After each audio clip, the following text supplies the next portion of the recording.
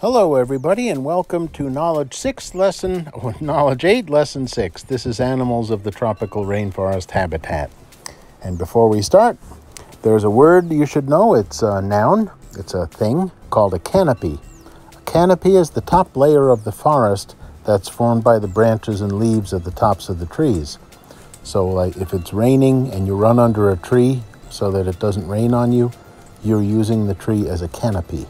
It's the leaves that all kind of seem to come together that make like a, an umbrella over you. That's colonies are groups of the same kind of animals that uh, or plants that are living and growing together. Like you could have colonies of ants in the backyard, and uh, let's uh, let's have that uh, be it for the words right now. Now we're going to be looking at a map. You're looking at a map of the Amazon rainforest.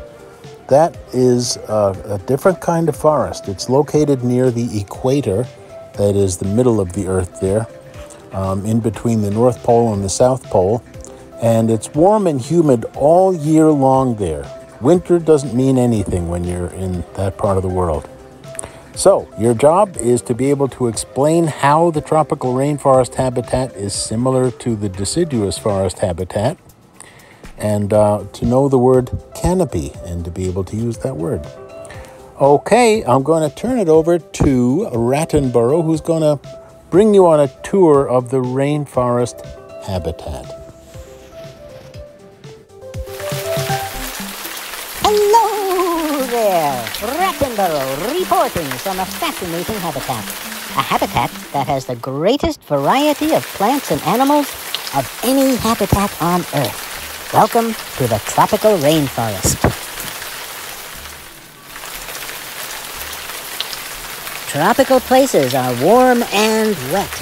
A rainforest is a thick forest of plants that stay green year round. So a tropical rainforest is a warm, wet, thick forest of plants that stay green year round. There are tropical rainforests in many places around the world close to the equator, but the one we are visiting is called the Amazon rainforest. It is in South America and is the largest tropical rainforest on Earth. The Amazon rainforest is so dense, or thick, that a rat like me could easily get lost. It's hot and very humid here. The temperature is always very warm and it rains heavily all year long. Because of the warm temperature and the rain, the air feels wet or humid. My fur is feeling very wet and sticky, and it's a good thing that I brought my umbrella. There are between 80 and 240 inches of rainfall here every year. That makes this one of the wettest places you can find anywhere on land. Temperate deciduous forests, which you learned about last time, have broadleaf trees that lose all of their leaves in the fall. The Amazon rainforest also has broadleaf trees, but the main difference is that most of the trees here stay green all year long. The evergreen trees in this tropical rainforest replace their leaves gradually throughout the year as the leaves age and fall, so that the trees always look green and never have bare branches like the trees in a temperate deciduous forest. Because the climate here is the same all year round, Plants do not need to slow down for cold winter weather, and the animals that live here always have a good supply of food all year, too. Mm-mm. Take a look around. The trees in the rainforest are so tall that they grow as tall as 13 story buildings. And some grow much taller than that. I'm standing in a tree right now and as you can see, the trees grow so thickly and so close together that from above you can only see a canopy of thick green leaves. You can't see the forest floor at all. And because the sun's light can't get through this canopy of leaves, everything under them is really dark. I brought a flashlight to help me see down there. The plants in the Amazon rainforest have adapted to this climate in many ways. Because it's so dark in the rainforest underneath the canopy, most plants have large leaves so they can catch as much light as possible. Many of the plants have waxy leaves with ends that are tapered. That means they get smaller near the ends to help the water drip off them like the water running off my umbrella. Many types of vines grow in the rainforest. Vines are climbing plants that grow on trees or wind themselves around tree trunks. Many animals use the vines growing among the trees, almost like sidewalks and ladders, to cross from one tree to another. The rainforest floor is a very shady place, which means it is a good habitat for mosses and fungi that don't need much sunlight. If you can believe it, there are even some plants that don't need any light at all to grow. They grow on the forest floor and get their energy from the rotting leaves instead of sunlight. Phew! Now I'm way up in a particular type of tree found in the Amazon rainforest called a kapok tree. So high that you won't be able to see me. The kapok tree is one of the tallest trees around. The kapok has a very long trunk and its branches and leaves form a canopy over the plants and animals below, making it a good shelter for animals like birds, snakes, and monkeys. There are also many different kinds of animals that call the Amazon rainforest home. Many types of interesting and colorful birds, frogs, insects, reptiles, and other animals live in the trees and other plants of the tropical rainforest. These huge toucans use their large beaks to cut fruit from branches and to eat lizards, as well as other birds. Macaws, which are a kind of parrot, travel in groups and use their hooked beaks to break into hard nuts and fruits. And you don't want to get too close to the poison arrow frog, which has poisonous skin to protect it from its predators. I'm back in the kapok tree, one of the very tallest trees in the forest, to see what kinds of animals call this habitat home. Okay, over there I can see a squirrel monkey. The squirrel monkey is a very friendly little animal, and it shares a lot of things in common with the squirrels that live in the temperate deciduous forests.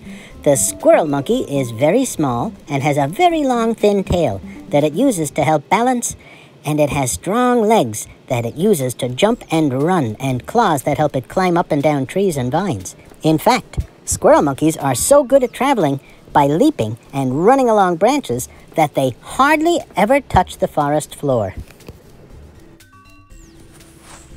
The squirrel monkey is an omnivore. What is an omnivore? A plant that eats both plants and other animals. It eats insects, fruits, and flowers and spends most of its time during the day moving around the forest to find food. The squirrel monkey has excellent eyesight, which is useful for finding small insects, fruit, and berries growing among the green leaves of the tropical rainforest trees. Squirrel monkeys live in large groups, making it harder for their predators, eagles and snakes, to get them. Now, this monkey is acting a little strange, and experience has told me that this kind of behavior usually means there's trouble on the way Aha! Yes, look who's coming. Some kind of snake. Snakes also tend to eat rats, so I'm going to climb a little bit higher and take a look from a distance. Wow! Look at the size of this snake. It's a boa constrictor, one of many kinds of snakes that live in the Amazon rainforest. It's a pretty big snake. This one is about 13 feet long. Boas can have slightly different coloring and patterns on their skin, but they are well camouflaged in the trees, plants, and vines of the forest.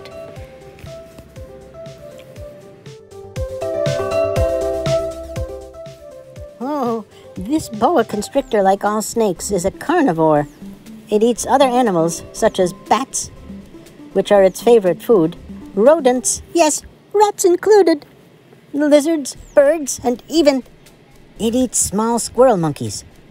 The boa constrictor is mostly nocturnal, so it comes out to hunt when it's getting dark, like now. Snakes can eat animals that are much bigger than they are. This boa's jaws open very, very wide so that when it finds an animal to eat, even animals such as birds and squirrel monkeys, it will be able to swallow it whole. The boa constrictor is not the only carnivore in the rainforest. In fact, it will have to watch out that it doesn't become dinner for a hungry jaguar like this one. Jaguars look a lot like leopards, They have tan fur with dark spots, but they are bigger than leopards, with shorter tails and legs, and bigger heads and paws. This jaguar is about seven feet long and probably weighs around 200 pounds. Jaguars are very well adapted to living in the rainforest. They have very sensitive hearing and an excellent sense of smell. A jaguar can see very well during the day and at night. All these things make it easier for it to find, stalk, and catch its prey. Remember, stalk means to follow in a slow, quiet way to hunt and catch something. I can barely hear the jaguar moving through the forest. That's because its paws are covered with very thick fur with pads on the bottom. Because they can travel so quietly, jaguars don't have to run far to catch their prey. So instead of having long legs for running, they have short, strong legs that are good for pouncing on other animals from the ground, from trees, or in the water. A jaguar spends most of the day resting and goes out to hunt at night. It's also very good at climbing trees, which means I should get out of here before it's able to sniff me out. I've moved. Just give me a second. I've, I've moved to the forest floor near the bottom of the kapok tree because that's one last very interesting animal I want to show you, but we'd better hurry. It's getting dark and I may have to use my flashlight to show you. These are leafcutter ants. These ants burrow underground and make nests in groups called colonies. Different ants in the colony have different responsibilities. There are worker ants, soldier ants, and their queen. The worker ants are traveling to the kapok tree nearby, where they will use their sharp jaws to bite off pieces of the leaves to bring back to the nest. Did you know that ants can carry up to 10 times their own body weight? That's pretty amazing, isn't it? The soldier ants are there to protect the worker ants on their way to and from the nest. These ants spend most of their lives working for food. Nature is amazing, isn't it? Well, it's really quite dark now, and my fur has been sticking to me since we got here. It's so humid. And I think it's time to leave the hot, humid Amazon rainforest. We've learned a lot about this exotic habitat, its climate, and the plants and animals that have their homes here. Now for somewhere really different. Well, thank you, Rattenborough. Uh, I don't see him anymore, but uh, He's sure going to bring us on another adventure. He said somewhere really different. I wonder what could be really different. Well, let's talk about the difference between a temperate deciduous forest and a tropical rainforest. We live in a deciduous, uh, a temperate deciduous forest. Um, lots and lots of trees. Sometimes it rains, but not all the time. Sometimes it's cold, sometimes it's warm, sometimes it's in between. That's temperate. Uh, tropical means it's close to the equator and it's like walking into a steam bath. It's always hot and humid, it's wet, and lots and lots and lots of things grow there. And let's think about that word canopy. A canopy is something that hangs over something. So, like you could have a canopy um, that uh, hangs your front porch might be a canopy. You could have a canopy over a tent. Or if you go on a picnic somewhere, you could put a canopy over the picnic table. It just means something that is like a cover. And the trees in the Amazon grow so thickly and so close together that we call it a canopy. So you could be under that canopy of thick green leaves. All right, we'll find out where Rattenborough brings us next time.